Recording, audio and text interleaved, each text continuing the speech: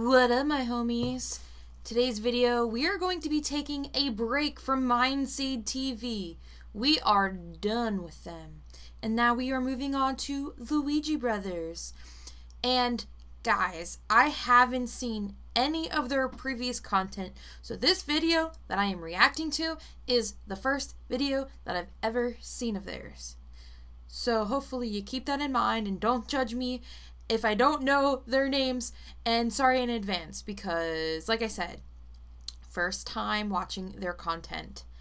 And in this video, they are going to The Limes, which is like a farmhouse. Now, after I did my channeled information, I tried looking up the limes to see if I could validate any of it, but also to help me create a hook at the beginning of the video because I changed my style a little bit. but the thing is, I don't know if I'm just searching wrong on Google, because that is a possibility, or if this this house is in a different country. I know they've got their accents, so I'm wondering like if it's in a European country or if it's somewhere else. But nonetheless, I could not find any information on the limes.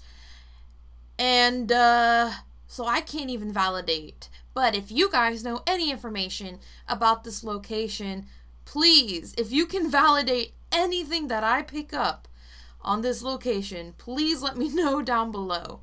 But also, if you know the exact location of where this house is, again, leave it down below. Because I want to look into it because there's some things I was picking up that made me go, hmm, interesting. But I digress. So we're going to continue into this video. And this the clips that I will be inserting will be a little bit different. I won't include the sound because my last few videos been getting copyrighted because of the music that's playing in the background of their videos. So, just to avoid any, you know, issues in the future, I'm just gonna like not play the original sound as often. Okay, gabish, gabish. Alright, so let's jump into this. One of the first things I get this farmhouse, for whatever reason, has similar energy or a vibe of that of a funeral home. I don't know why, but that could just have to do with the style of the home. But I found it interesting because if you've ever been to a funeral home, they have like this smell. A lot of times it smells like old people. Sometimes it just smells like what's the word? Cleanliness or bleach or sterile equipment or cleaning supplies, if that makes sense. But that I picked up immediately before they even started talking. But I found that interesting because one of the guys stated that they keep smelling an old man.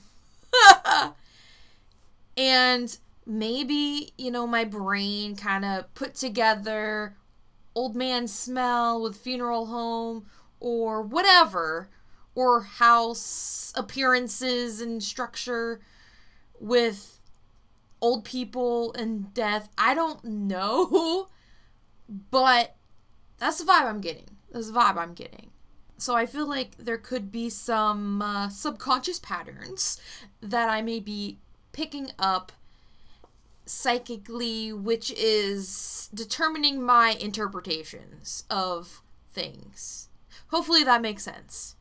I will say that this place did make me feel really, really sleepy to the point where I contemplated for a good five minutes should I take a nap? Should I not take a nap?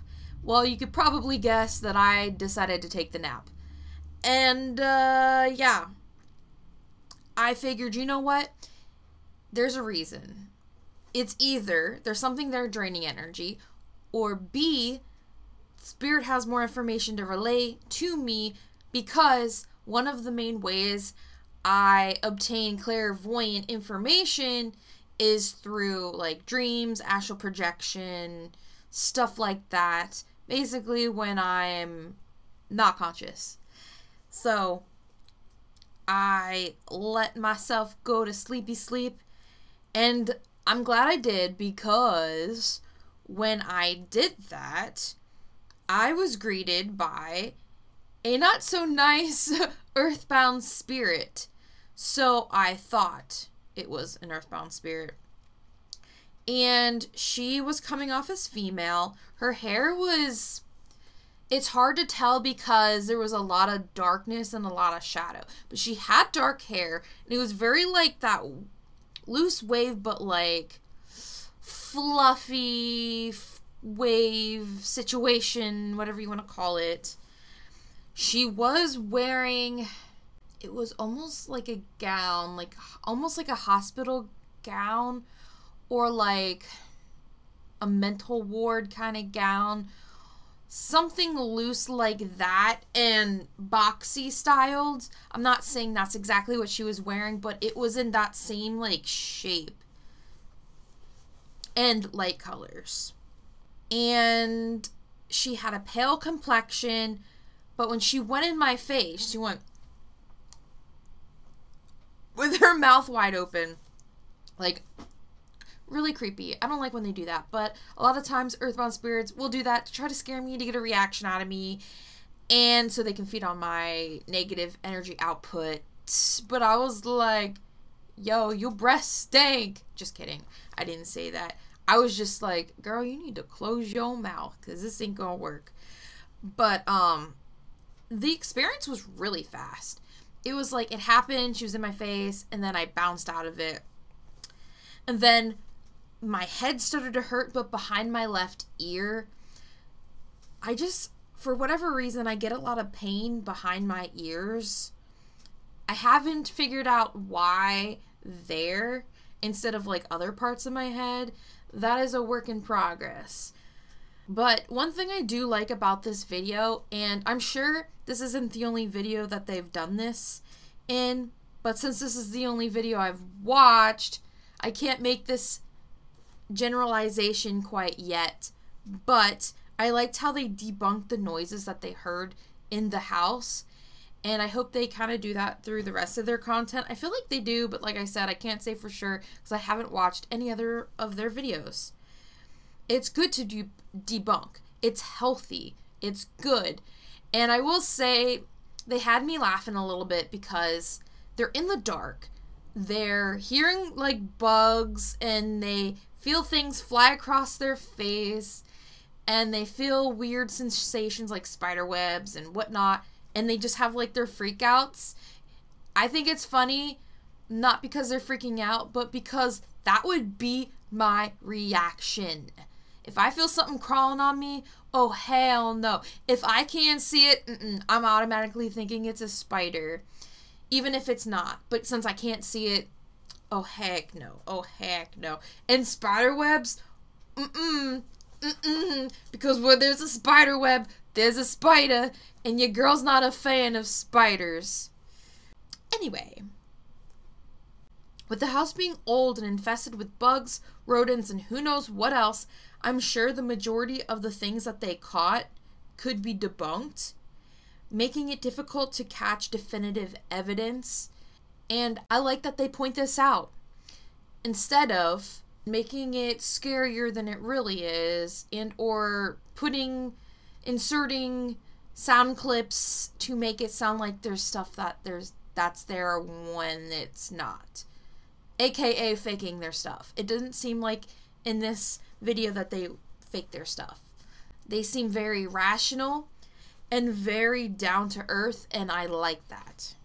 The footsteps they were hearing are partially from the residual energy from the house being well lived in, but I do believe that some of it can be contributed to it being an older, somewhat dilapidated home that has natural creaks and other noises from the wind getting through openings, but some of the windows that are broken, but also the bug and animal infestations.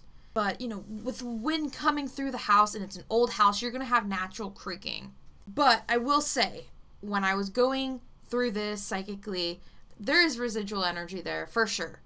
But there is that earthy that I will say it was kind of confusing because she kind of just wandered around. And sometimes when they just wander aimlessly, they are fractals, so they're not 100% conscious and can be more of a residual haunting than an active haunting.